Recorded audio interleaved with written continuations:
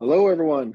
I wanted to create a video to welcome you to career development, so counseling 528. Uh, I'm really excited about this class. I feel like this class has a lot of potential. I think more potential than you think it does. Uh, for those of you who are like maybe wondering a little bit of, of you know why why is there a career development class in a, in a counseling program, but it's pretty foundational to the field actually. Uh, and and I think you'll you'll start to see that that career has a, a, a, very significant influence or can have a significant influence for client client issues. So, anyways, uh, I'm Kirk Thiemann. I'm I've taught this course uh, several different times. This is the third third or excuse me the second time I've been teaching at this institution, but I've also taught it at the University of Wyoming. Uh, but yeah, I've worked as a career counselor as well as a mental health counselor and done some couples work and family work as well as well as play therapy. So I've dabbled in a few different areas of counseling. Uh, but yeah, a lot of my experience has been in career counseling. So I've I've really seen how career counseling work can be really impactful for just an individual sense of mental health, but also their sense of just personal development and life direction and purpose. So I think it has a lot of, of, of importance and it really surfaces in the, the mental health sphere as well. Uh, so in this video overall, I just wanted to introduce myself and then go over the syllabus so you have a, a, better idea of what this course holds. And then there's also for this module, module one, there's also a, a video lecture of that goes over the, the SHARF material. So without further ado, let me share my screen and we can go over the syllabus. Okay, so here's the syllabus. Take me up on office hours. I, I really appreciate meeting uh, with students, especially like if there's anything that's, you know, any questions or, concerns or comments that you have that you feel like it makes sense just to chat via Zoom about, take me up on it. Let's, let's talk. Uh, definitely, definitely happy for that.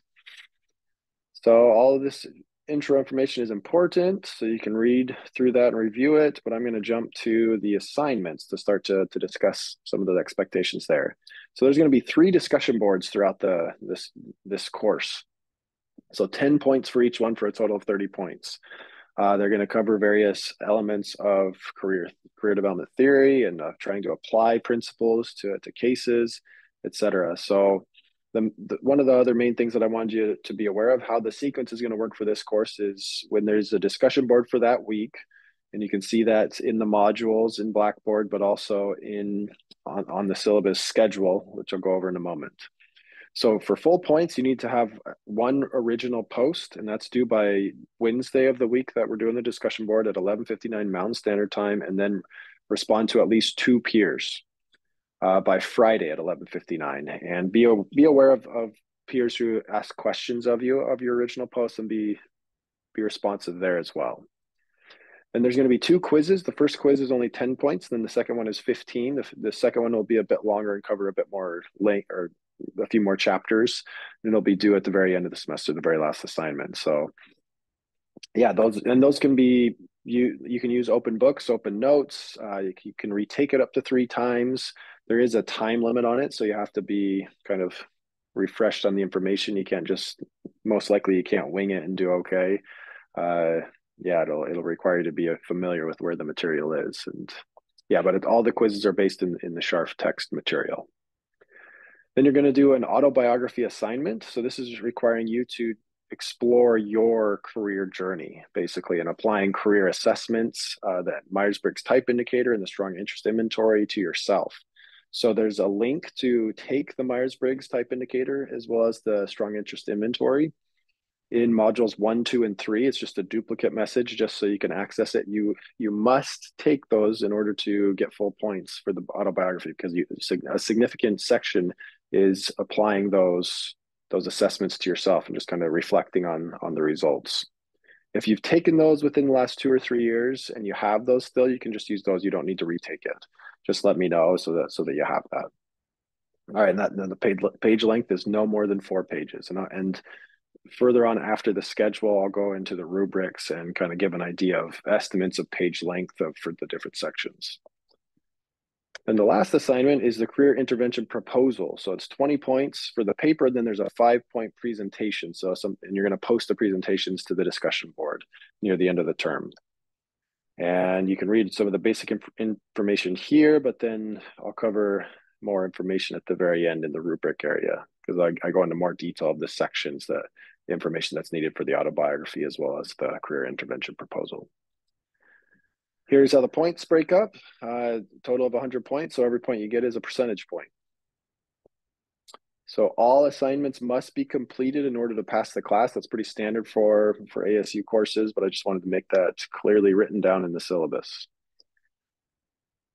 uh, the Sharf text, this is actually a text that the other sections aren't using. This isn't the text that it was recently changed.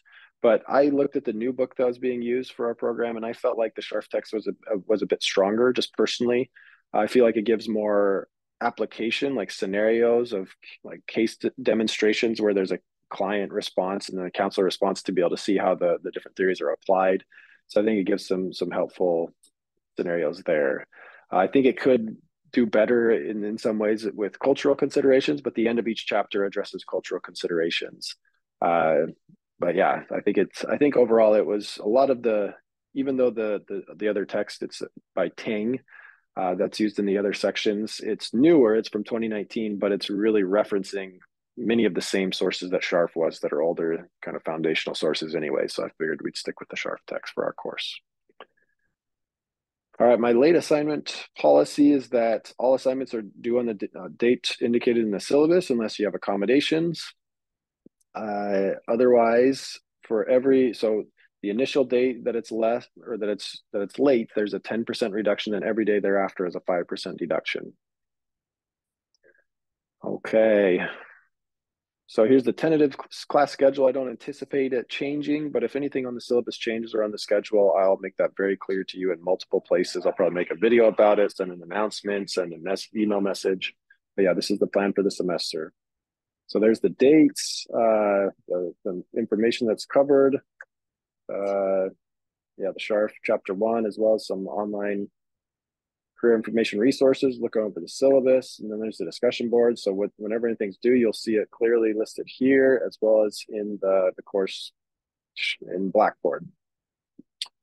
So we jump right into it. This chapter, this class is pretty fast. Uh, some weeks there's three chapters that we're covering, so it's pretty quick. Uh, so I strongly recommend you don't get behind, that you just figure out a schedule and a sequence. I know you have other classes too that are busy. So just find the sequence that works for you to stay stay on top of it all. So there's all the assignments, when they're due, etc. But the last thing that I want to show you are the rubrics. So the discussion board rubric for full points, you can look at this just to know what I'm looking for. But then I wanted to mostly go over the autobiography rubric as well as the career intervention proposal.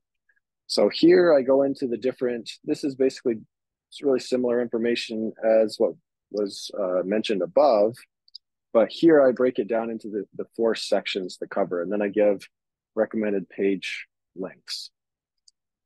So going over your cultural background, just relevant background information, education and training slash work history, then going to the, the career assessments, that's the strong interest inventory as well as the Myers-Briggs type indicator, and then applying one specific career theory to you. And I list uh, theories here to apply. And if there's one that you want to apply to yourself that's not on this list, just reach out to me for just to get approval for it. Then I go into the different categories of A, B, C, or less for, for grades. Same with the career intervention proposals, pretty standard information as above to start with, but then I go into the sections as well as page length suggestions to follow there. And then there's the rubric there to follow. So I want to keep these pretty brief if I can, so I'll, I'll pause there. But if you have any questions about the syllabus, uh, don't hesitate to reach out. We can ch chat in an office hour or just meet via Blackboard mail. That'll be my primary way of communicating with you is via Blackboard mail. So yeah, reach out happy to happy to connect. Looking forward to learning with you all this this semester. So thanks, everyone.